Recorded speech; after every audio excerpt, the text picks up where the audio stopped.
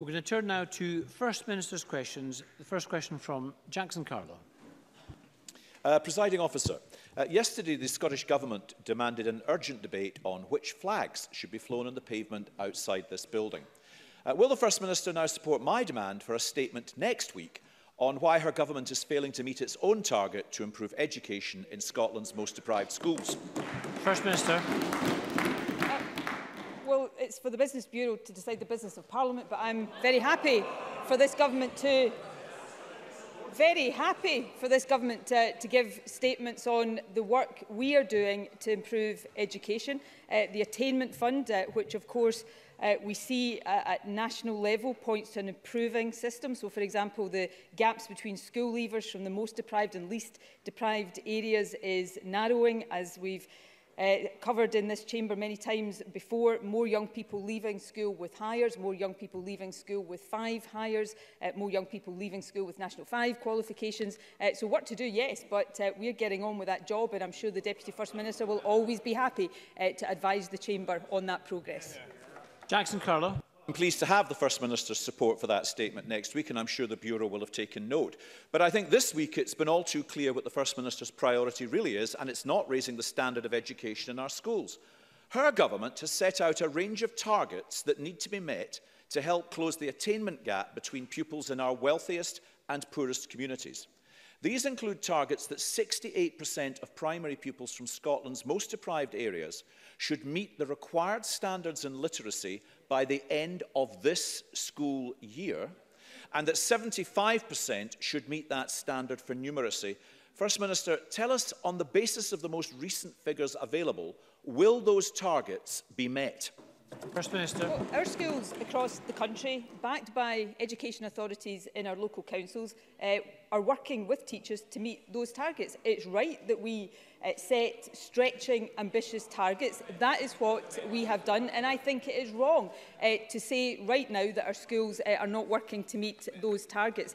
As I said in my original answer, if you look at the situation across uh, the country, we have evidence already that points to the improvements in the system. If we look at the gaps between uh, those from the most deprived and least deprived, we uh, see that gap narrowing. We now have full-time attainment advisors uh, in place in each local authority, working in a focused way with our schools to make sure uh, that we meet those targets. In December, we published the most comprehensive set of data and evidence on performance in education through the National Improvement Framework um, and we will continue to set out that detail and we will be held to account on that. But what I will do is back our teachers to get on with the job of making the improvements that we are seeing across Scottish education.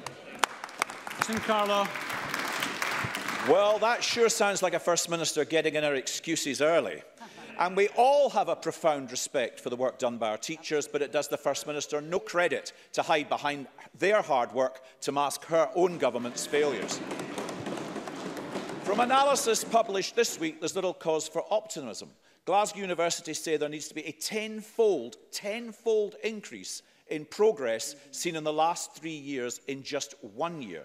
Progress, where it exists at all, is taking place with nothing like the urgency required. Next to no progress in closing the attainment gap in primary or secondary school when it comes to literacy and numeracy. And today, today we learn that since the introduction of the SNP's botched curriculum for excellence in 2015, the pass rate in the pass rate Order, please. Let's hear the question. The pass rate in 32 of the 46 higher subjects has dropped in English, maths, chemistry and history. Progress, First Minister, is any of this any way acceptable?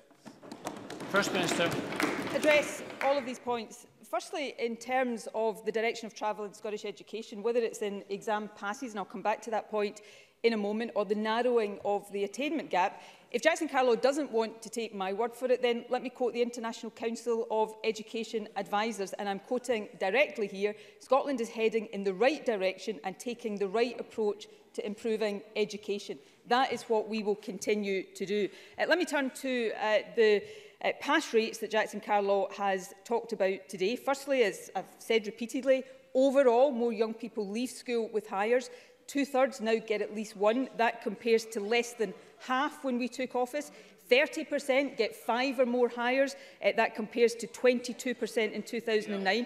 But let's look at the different subjects, uh, the 32 subjects uh, that Jackson Carlaw talked about. Firstly, uh, we've committed to publishing our analysis of the exam results. And it is absolutely uh, right that we look at the reasons where uh, exam pass rates are falling. Uh, and I'm not suggesting for a second that some of the subjects I am about to talk about are not important. They are all very important. But where we see, yes, classical studies, for example, uh, down, maths is up. Uh, yes, drama down, but physics is up uh, geography is up. And when you look at the top 10 uh, subjects in Scotland, most of them have exam pass rates going up. Mathematics, chemistry, modern studies, physics, biology, geography, all up yeah. since 2015. Yeah. So I'm not saying we don't look at uh, the subjects where the opposite is true. We are doing that. But the overall picture, as is so often the case, is not the one that Jackson Carlaw wants to yeah. present. Yeah. Jackson Carlaw. Do you know, that really was lamentable. We are seeing a drop in 32 32 of 46 higher subjects. And I think people are getting increasingly angry at the First Minister's spin and denial of the failure of education under her government. Being on course to miss all four of your own educational attainment targets is a definition of failure. It's as simple as that. Primary and secondary, literacy and numeracy, Four areas the SNP said they'd change things for good, four areas they're failing. Record low scores in maths and science, missed targets in the attainment gap, and today those falling pass rates in the vast majority of higher subjects. First Minister, how many more times do we have to listen to the same lines and excuses about how education is your government's number one priority when the actual evidence shows your record is one of unmitigated continuing failure? First Minister. On what Jackson Carlaw has just described as, as lamentable.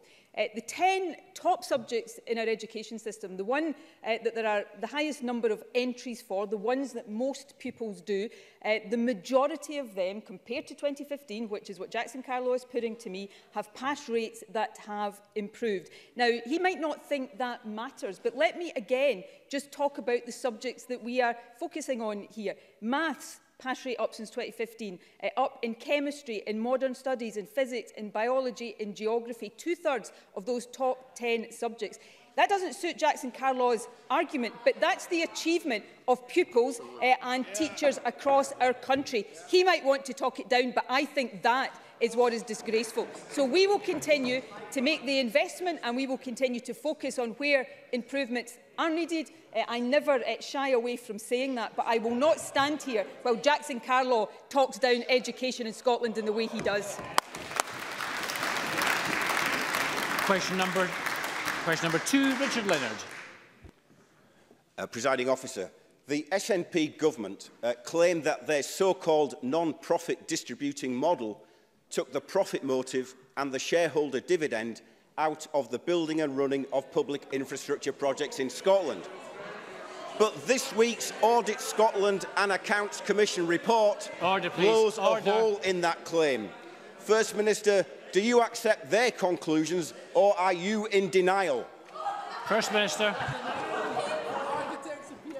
Do you know, I, when I was thinking about what Richard Leonard uh, might ask me about today, I thought he won't really go on PFI, will he? But he has, and who am I to complain? So let me firstly give the background.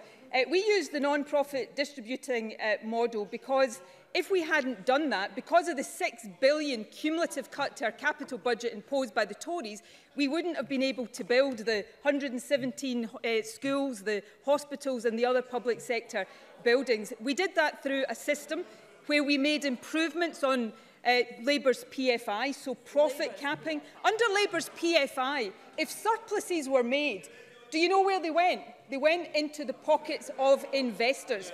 Under our system, surpluses, surpluses got reinvested into the public sector.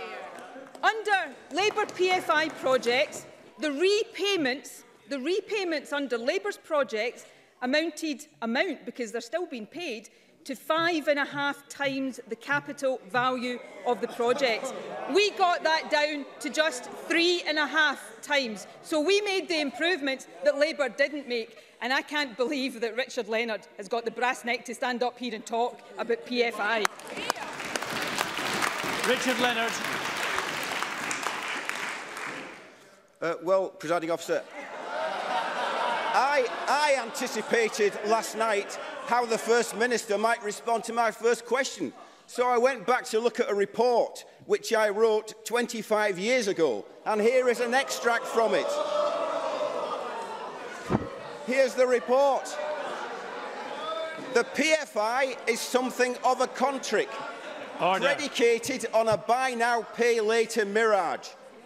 It is a mirage because the taxpayer or the user will simply pay more in the end. It is smart accountancy, but bad economics. The fact is that government can always borrow Keep at a lower down, interest please. rate than the private sector. So I have been consistent on this question as the First Minister. the Accounts Commission this week conclude that the Scottish Government have failed to properly monitor and evaluate billions of pounds worth of privately financed contracts. Mr Leonard, Mr Leonard, just hold on one second. That's an unacceptable level of noise. I'm sorry, but we should, we should treat each other with respect in this chamber. Please listen to the questions being put and then answer them in a respectful way and less of this barracking. Mr Leonard. Mr Leonard. The Accounts Commission conclude that without proper transparency and accountability, the risks increased and the costs have skyrocketed. we pay three times the capital value of assets in unitary charges alone. It is what the Accounts Commission described this week as, and I quote them, the private finance cost premium. First Minister, why for the last 13 years have you presided over this rip-off? First Minister. Well, firstly, on capital value, Richard Leonard says uh, NPD projects uh, cost three times the capital value. That's a vast improvement on the five and a half times the capital value under Labour schemes. On transparency, under the old uh, Labour-supported schemes, you used to have to wait after 20, uh, 25 years after the asset was complete before you got the information about it. We now publish uh, most of that material two years after an asset is complete, so much greater transparency. But Richard Leonard, uh, bless, wrote a report 25 years ago. Isn't it a real shame that the Labour governments who followed in the years after that ignored everything Richard Leonard said and it took an SNP government to act on the things that he said. Capping the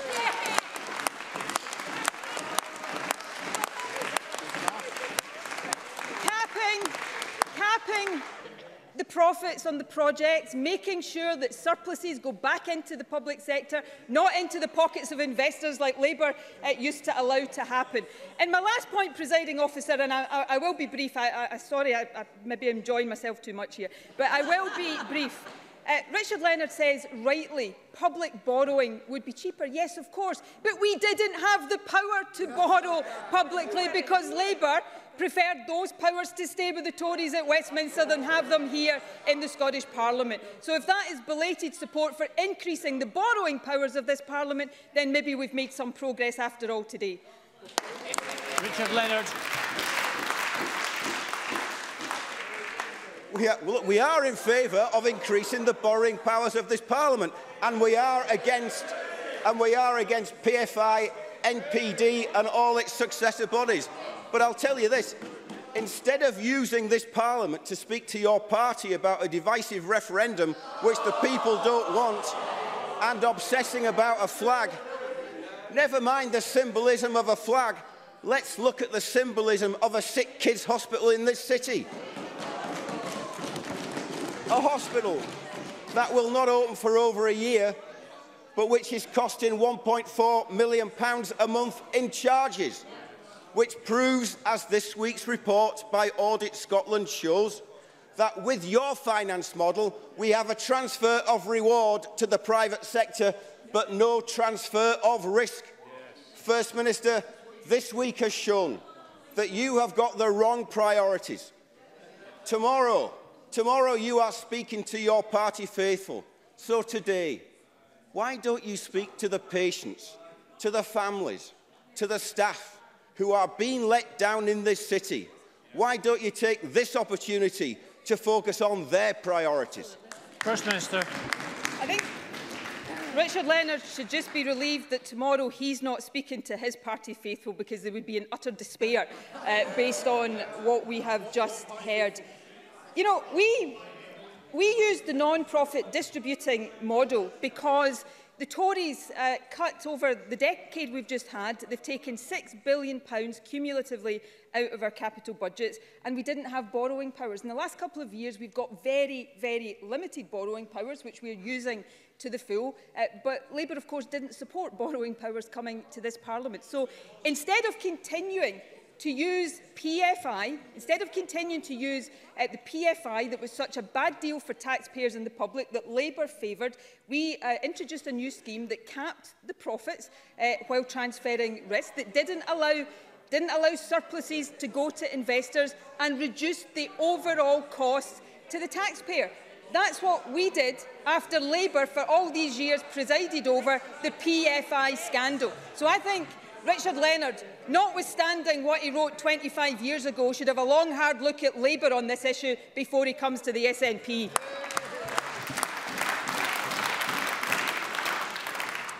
Thank you. There's a, a, a huge number of members wanting to ask supplementaries today. Hopefully we'll get through some of them, uh, quite a few of them. Graham Simpson to be followed by Stuart McMillan. Presiding officer, Apex property factor was struck off the factors register in April last year – after a string of breaches of the Code of Conduct. An appeal was heard in December and it was refused. They did not appeal again. Kevin Stewart wrote to former clients of Apex on January the 13th to tell them the good news. But three days later, constituents of mine in Motherwell received another letter on Apex-headed paper citing an ongoing legal dispute and saying that an associate company, Clean Cut Limited, spelt with two Ks, had been established to ensure continuity of maintenance services. My constituents have since received another letter and an invoice. It's an appalling and outrageous situation, and I know that uh, MSPs across this chamber have concerns about it. Um, so would the First Minister agree to look at providing homeowners in this situation with extra help to help them find new factors? And would she agree with me that the process for removing bad factors takes far too long and that this case has highlighted a loophole that should be closed. Yeah. First Minister. Well, I um, obviously, given the nature of the constituency I represent with lots of tenemental properties, I deal with constituents uh, who have issues with factors regularly. So I know some of uh, the frustrations, uh, understandable frustrations that people have, although that said, there are a lot of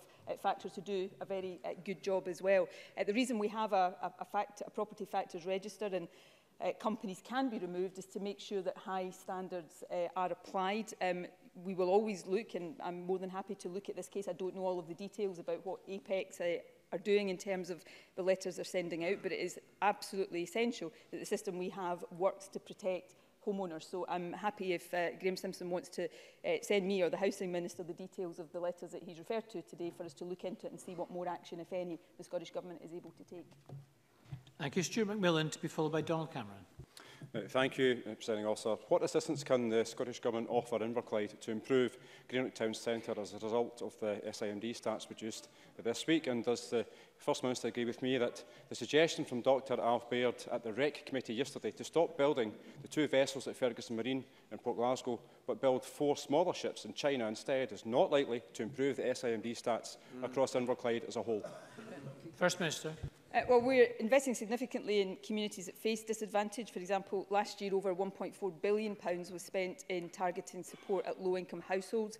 Uh, specific to Greenock, we're supporting investment through the £500 million pounds Glasgow City Region Growth Deal, uh, which Inverclyde Council is a full partner in. Uh, we're making £45 million available to Inverclyde Council uh, across this parliamentary term to support regeneration uh, and provide uh, affordable energy-efficient housing. And we've made over £20 million available to Inverclyde applied through the Attainment Scotland Fund, uh, with 6 million of that available this year. Uh, SIMD data is a helpful tool to support targeting resources across the public sector, and we'll continue to work in partnership with local government and others to support uh, reducing inequality and the regeneration of towns uh, and cities. On the shipbuilding point, I absolutely agree uh, with Stuart McMillan that we want to see uh, ships built uh, here and uh, in particular where appropriate in Ferguson's uh, rather than see them go to China or anywhere else.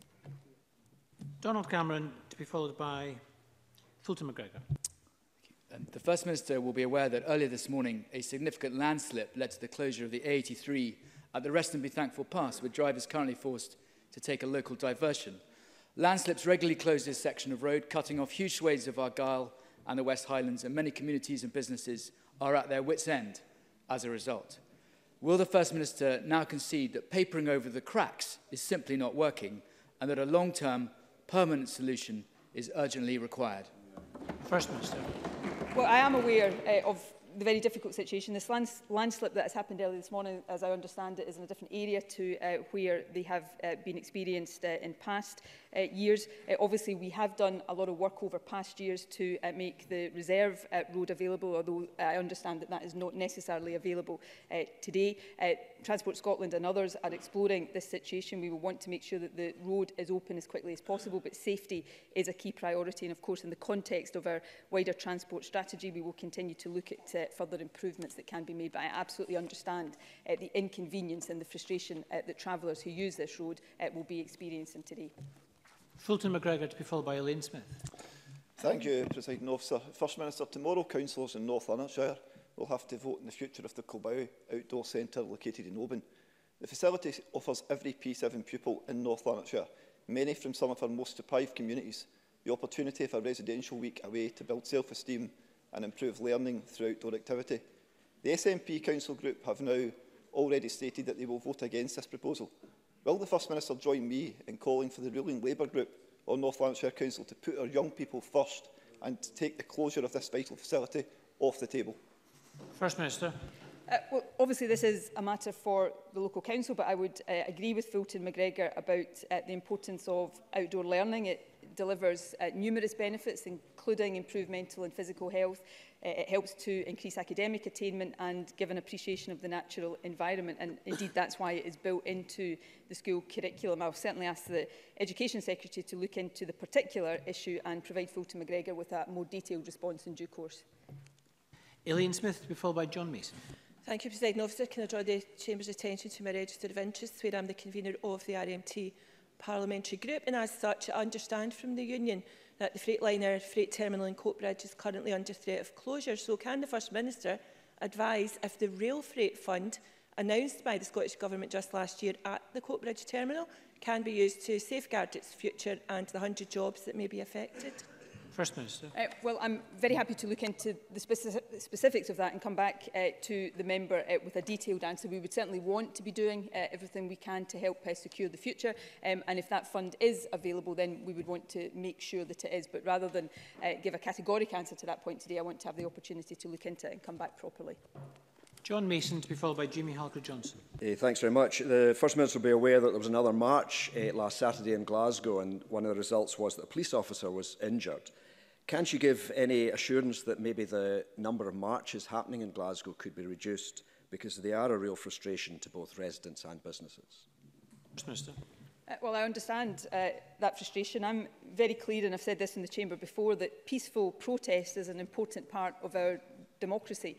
But violent and sectarian disruption should have no part in our democracy or our society.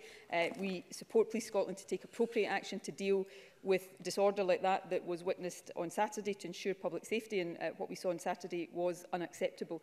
Uh, the Scottish Government supports local authorities in making decisions to achieve the, the right balance between the rights of marchers and the rights of communities affected and I am certainly encouraged by Glasgow City Council's cross-party response to marches and parades and I look forward to hearing any recommendations that that group uh, will bring forward. And Jamie Halker-Johnson. Uh, as I've raised with the First Minister before, the maternity unit at Dr Grace Hospital in Elgin has been downgraded since 2018, with many expectant mothers having to undertake long journeys to Aberdeen and Inverness to give birth or receive vital care. However, this week it's been reported that one expectant mother from Murray was forced to travel as far as Fife, over 160 miles away, because the Raigmore and Aberdeen maternity hospitals were at capacity. With Murray being hit by winter weather this week, I'm sure the First Minister will agree with me and with families across Murray that this is simply unacceptable. So will the First Minister now intervene to ensure that her Health Secretary acts in the interest of local families and takes urgent, direct action to restore full maternity services in Murray as a priority? First Minister the Health Secretary will actually be visiting Dr Gray's on the 11th of February to uh, discuss these very issues. Um, I agree absolutely that it is important that uh, women are cared for and get to deliver uh, their babies as close to home as possible. In particular, uh, in the part of the country we're talking about, uh, large distances uh, add to, uh, I, think, the,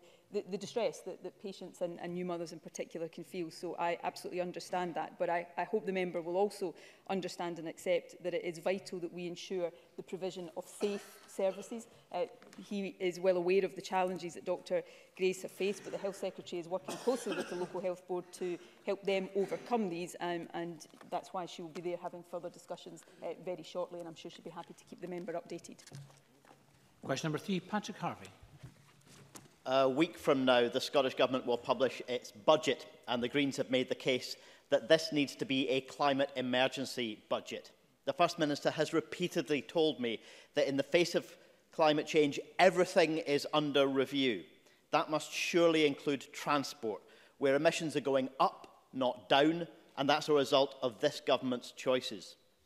We all know that continuing to increase road capacity just generates more traffic, more congestion and more pollution. So will the First Minister give us a budget which will stop pouring money into a multi-billion pound road building programme and instead commit to making public transport more available, more reliable and more affordable? First Minister. Uh, well, as Patrick Harvey uh, himself alluded to, we will publish the budget uh, this time next week, uh, or almost this time next week, so I'm not going to go into the detail today of uh, what the budget will include, but suffice to say, uh, I'm pretty sure uh, Patrick Harvey will see when he looks at and scrutinises that budget, the government's commitment to tackling climate change and making sure that we meet uh, the obligations and the targets that we have set. And transport, uh, it is absolutely vital that transport is a part of uh, that transition. Emissions from transport uh, form a significant chunk of our overall emissions and we need to get them going down. Public transport has a massive part to play in that, which is why in the programme for government we announced significant investment in uh, new bus infrastructure uh, in order to make bus journeys more convenient.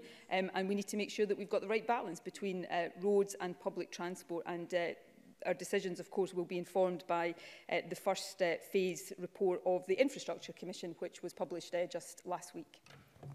Patrick Harvey.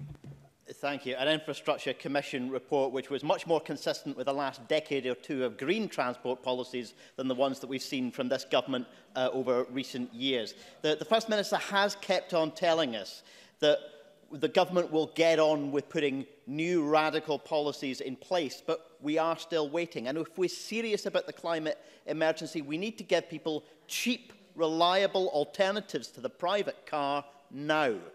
The Scottish Greens have made a budget proposal that would set us on this path. A policy that's radical but also affordable. Make bus travel throughout Scotland free for young people just as it is for senior citizens. Can the First Minister acknowledge the huge benefits that this policy would bring to people, like the family who spoke at a Poverty Alliance event, whose son has to pay £17 a day to travel to college in Inverness, a huge cost for a family that's already struggling to get by. Does the First Minister deny that this green proposal would cost a fraction of what's currently being spent on the road building programme? First Minister.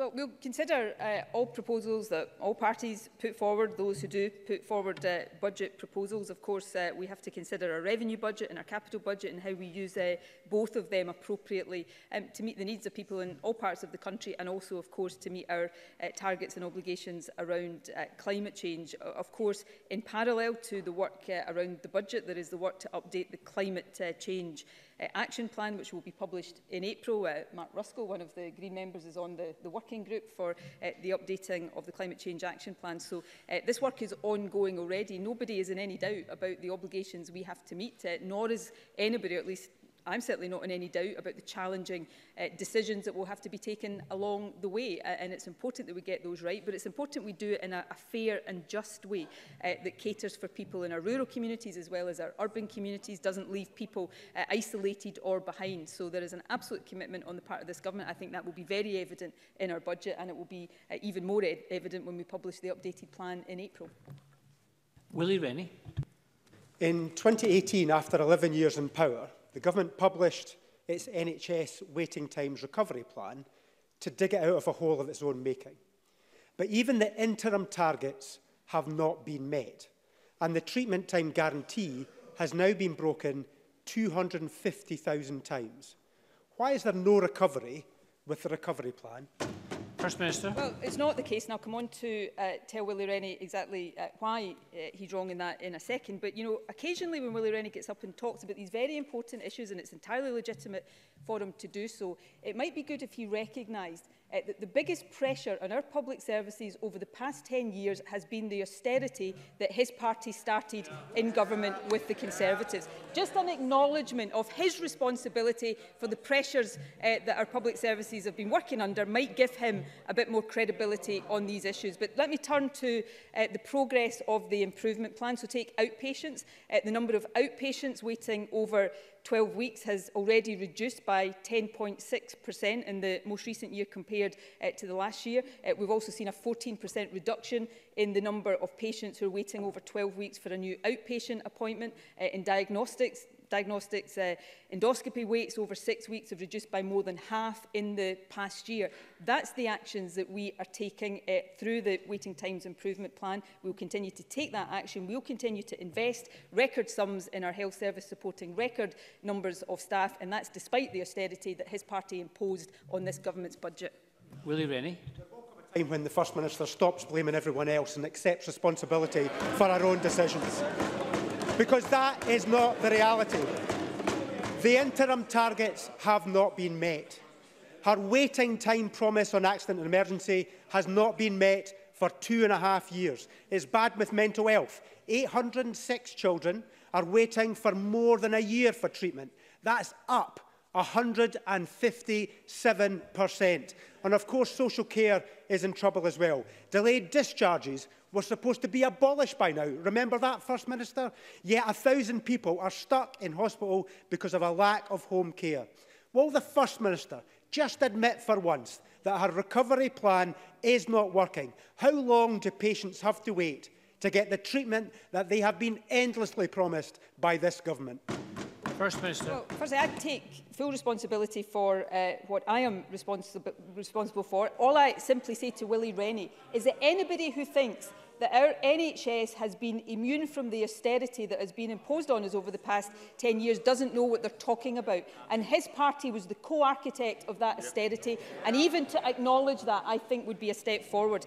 Uh, we are seeing improvements. I've set them out in terms of the waiting times improvement plan. We'll continue to invest uh, the sums in spite of austerity, uh, that continue to support uh, that progress. Take the treatment time waiting uh, treatment time guarantee uh, figures, for example, in his own area in Fife, we've seen a 50% reduction uh, of numbers waiting over 12 weeks between September 2018 and September 2019. That's the kind of progress that our NHS staff are making and we'll continue to support them to make even more progress. Thank you. Some further supplementary questions. The first from John Finney. Uh, thank you, President Officer. Uh, First Minister, Scotland is about to be dragged out of the EU by the Tories. The UK Home Office says that the European arrest warrant, which has proved a tremendous tool dealing with international crime, will continue to apply during the transition period. That's not the case. Germany's constitution does not allow its citizens to be extradited unless it's to another EU country, and they've said they won't execute UK warrants in respect of their citizens during the transition period. Uncertainty also exists over Austria, Slovenia and perhaps others. The Home Office states if a country's laws prevent extradition to the UK, it will, I quote, it be expected to take over the trial or sentence of the person concerned. Scotland's justice system has been weakened by Brexit.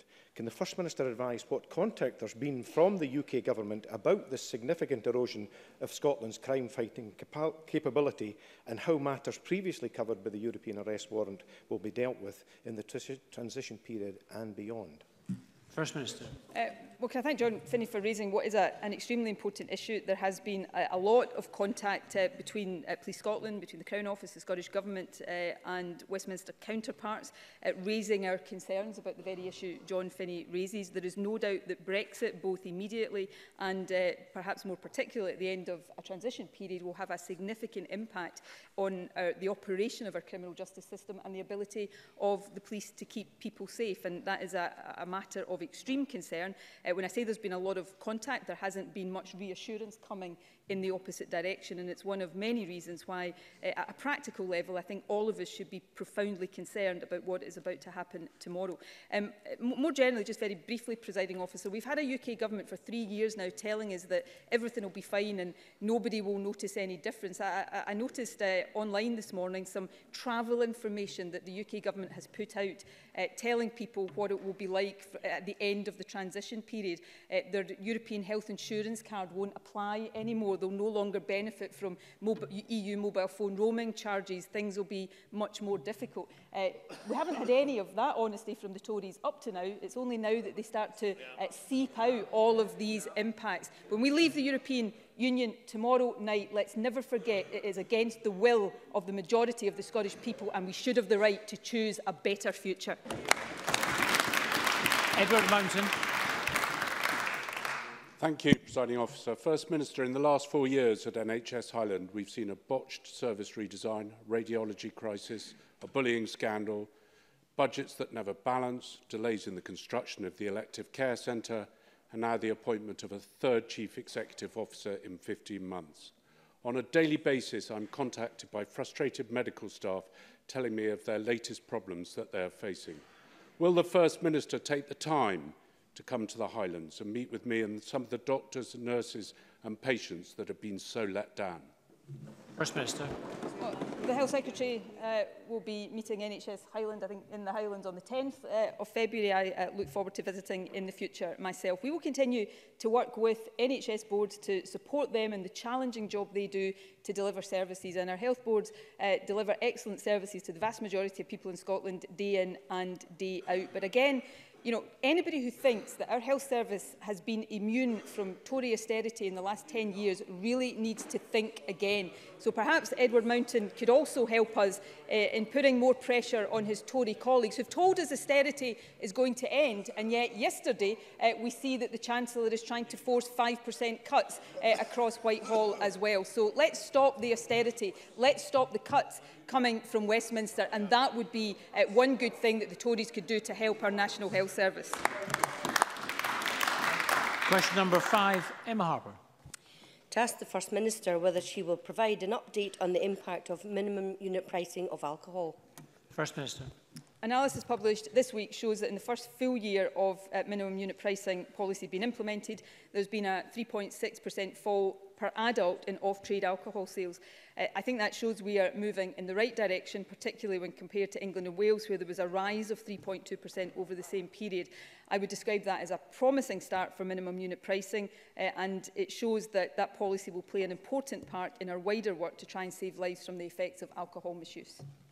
Emma Harper thank the First Minister for that response.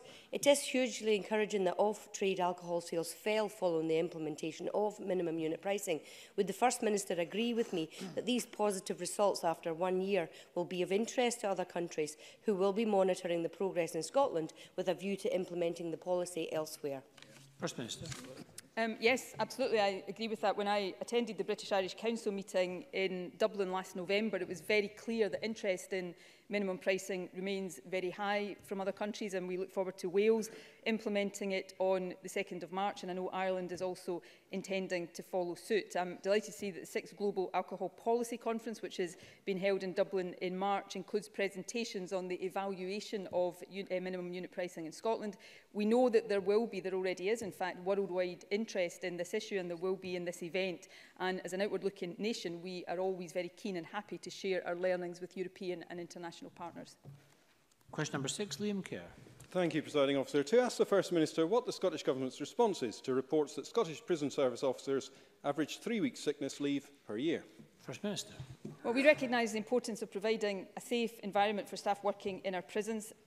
Prison officer sick absence fell in calendar year 2019 by 3.3% compared with 2018 and sickness absence has fallen for the last uh, five consecutive months.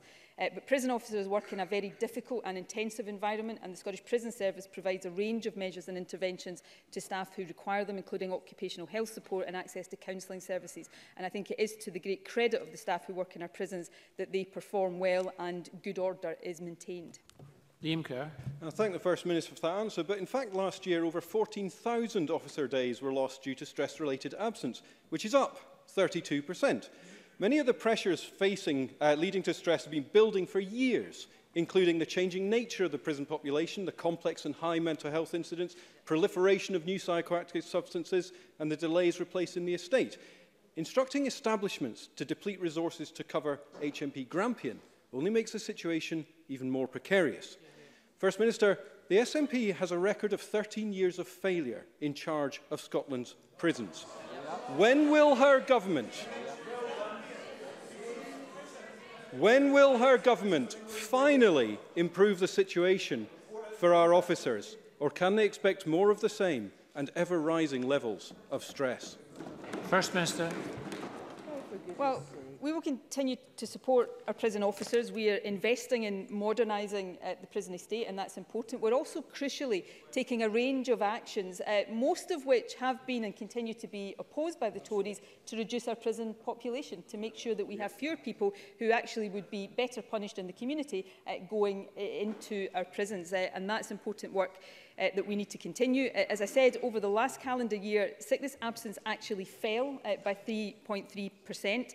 Um, if we look at HMP Inverness and uh, Grampian, a downward trend in the numbers of staff days, uh, working days lost due to sickness, and the SPS continues to work to maintain that trend. We're also supporting our prison officer staff. In Scotland, of course, uh, we'll see uh, an increase in pay of 6%, up to 6% for the lowest paid, compared to uh, a pay award of 2.2% south of the border. And while I take full responsibility for what we're doing here in Scotland, often when we get these questions on public service issues, uh, basically what the, uh, the, the general accusation is, it's somehow all down to the SNP, which is why it's important, I think, to be able to compare and contrast, because we have uh, the Tories in government in England, Labour in government in Wales, the SNP in Scotland. So, you know, we can compare whether the SNP is doing better or worse. There's a report out today about Doncaster Prison showing that seven inmates, 700 inmates are doubled up in single cells. The Chief Inspector of Prisons in England is talking about the dangerous combination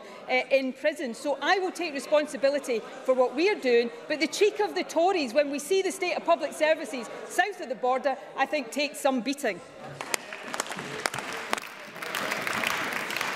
Question seven, Monica Lennon. Thank you. To ask the First Minister what action the Scottish Government is taking to work with football authorities and clubs to reduce problem gambling. First Minister. Uh, there's widespread recognition that some people who engage in gambling activity experience harm. Uh, the SFA and Scottish Professional Football League have stated that they have taken steps to reduce the harm associated with problem gambling in the football community and wider society, and we have discussed with the football authorities what more can be done.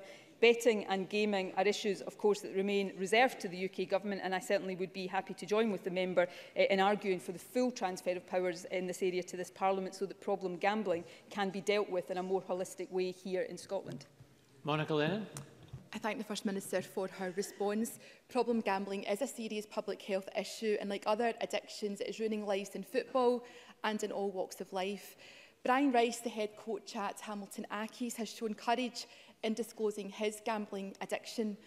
A Scottish Football Association hearing into his alleged breaches of their betting rules is underway today. It is a sad situation. Does the First Minister agree that addiction is an illness and that we all have a responsibility to end the stigma that prevents people from seeking help? And does she agree that a gambling amnesty in Scottish football could create a safe environment for players and staff to access support? First Minister. Um, yes, I agree uh, very much with those sentiments. Obviously, as uh, Monica Lennon said, there is a hearing underway right now, so it would be inappropriate for me to, to comment on that. Uh, but I will say that I, I do agree with her that Brian Rice has shown great uh, courage, uh, and I, I hope he uh, gets the support uh, that he needs. Um, more generally, gambling addiction, like any addiction, is an illness and it should be treated uh, like that and we should be focused very much more on the support that we can provide. That's certainly the approach the Scottish Government uh, will take and we uh, certainly are happy to work with others to provide uh, whatever additional support we're able to.